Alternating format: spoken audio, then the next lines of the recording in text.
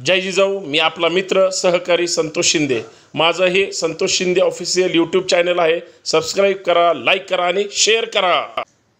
भारत हा भारतीय राज्यघटनेवर चालतो. भारत हा संवैधानिक देश आहे. परंतु सध्या आपल्या भारताची मनुस्मृती काय आहे? भारतामध्ये मनुस्मृती कुठल्या नावाने ओळखले जाते? मनुस्मृती अजून जिवंत आहे का? तर हो आहे. ई व्ही एम नावाची मनुस्मृती अजूनही जिवंत आहे जी इथली लोकशाही ताब्यात घेण्याचा प्रयत्न करते. कारण बॅलेट पेपरवर राष्ट्रपती निवडून दिला जातो बॅलेट पेपरवर साधा पदवीधरचा आमदार निवडून दिला जातो परंतु बॅलेट पेपरवर आमदार खासदार निवडून दिला जात नाही त्याला ई व्ही एम लागते. सांस्कृतिक दहशतवाद कशाला म्हणतात? जो तुमच्या बुद्धीशी बुद्धिभेद करून तुमची मानसिकता गुलूम टाकली गुलाम करून टाकली जाते. त्याचं कारण काय? त्याचं कारण आधुनिकतेकडे चाललेला आमचा महाराष्ट्र आणि देश या देशामध्ये आधुनिक तंत्रज्ञानाचा वापर केला जातो आणि त्याच्यावर आधुनिक तंत्रज्ञान म्हणून ई व्ही एमकडे पाहिलं जातं. हॅक होतं. मतं विभागली जातात मतं पळवली जातात. ज्याला दिलंय मत ते भलत्याला जातं. हे वारंवार समोर येऊन सुद्धा नुसतं भारतातच त्याच्यावर बोंबाबोंब आरडाओरडा झाला नाही. तर काल परवा अमेरिका असेल रशिया असेल त्यांनी सुद्धा ई व्ही आक्षेप घेतले. मग आमच्या इथं ईव्हीएमला एमला एवढा विरोध होत असताना उमेदवार पडल्यानंतर फक्त ईव्हीएमवर व्ही एमवर बोलतो. मात्र पाशवी पद्धतीनं जो लोकसभेमध्ये बहुमताच्या जोरावर निवडून येतो तो ईव्हीएम व्ही एम का हॅक करत नसेल? अहो साधं यांच्यावर गुन्हे दाखल होते त्या गुजरातच्या दंगली प्रकरणाचे.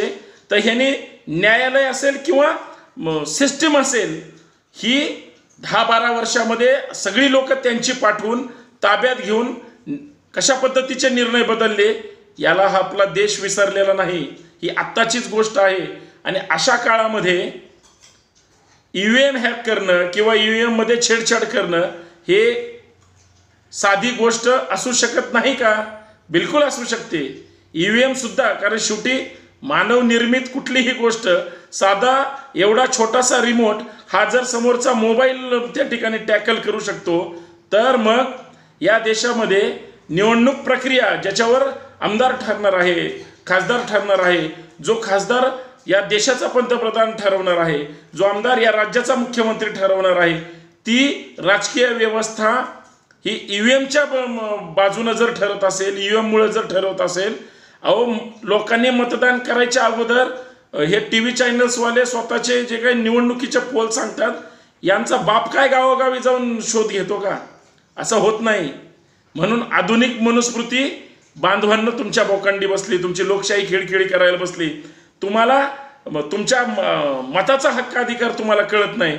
अहो तुमची ई व्ही एम बदलली काय? तुमच्या परत एकदा मनुस्मृती आली तरी तुम्हाला जगावं लागेल. पाठ्यपुस्तकात वाचा. कालच मी लॉचा एक्झाम दिली. पहिलाच प्रश्न मनुस्मृतीवर होता. कुठल्या गप्पा मारतोय आपण?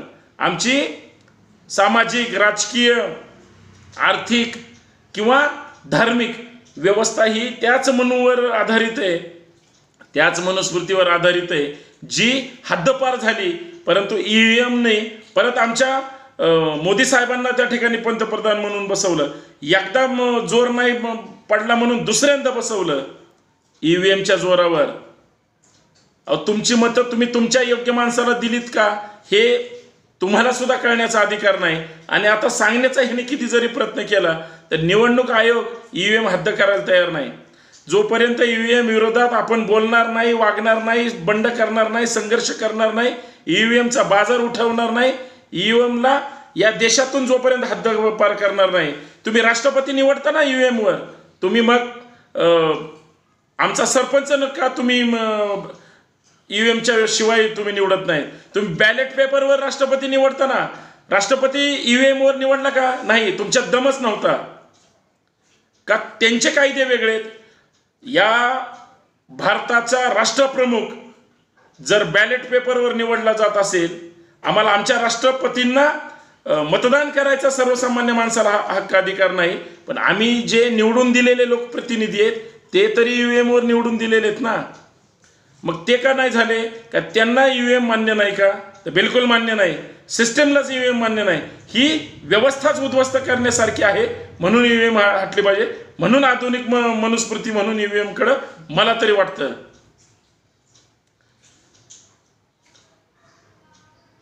इथली व्यवस्था ही धर्मवाद्यांनी गुलामीकडे घेऊन जात असताना शिकलेले जे जास्त शिकलेले असतात ना त्यांचा मेंदू इथल्या संघाच्या आर एस एसच्या भांडवलदारांच्या या देशातील ज्यांनी ज्यांनी सडके विचार मांडण्याचा प्रयत्न केला आहे हिटलरपासून ते आपल्या देशाच्या शहेनशापर्यंत सगळ्यांनी ती जी स्ट्रॅटर्जी वापरली तुमचा मेंदूच गुलाम करून टाकलाय. तुम्ही यू बद्दल बोलूच शकत नाही. तुम्ही आधुनिक तंत्रज्ञानाच्या गप्पा करता. काळा पैसा आणणार होते परदेशातून. म्हणून निवडून दिलं ईव्हीएमवर यांना यांनी रात्रीत काय गोंधळ घातला परंतु यांना जिंकता आली नाही दिल्ली. कारण दिल्लीमध्ये यांना छेडछाड करू दिली नाही.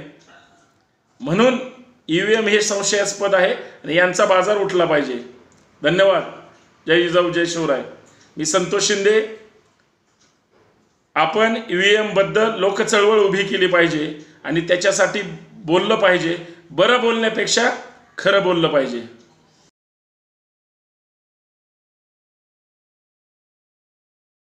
जय जिजाऊ मी आपला मित्र सहकारी संतोष शिंदे. माझं हे Santosh Shinde official YouTube channel आहे. सबस्क्राईब करा लाईक करा आणि शेअर करा.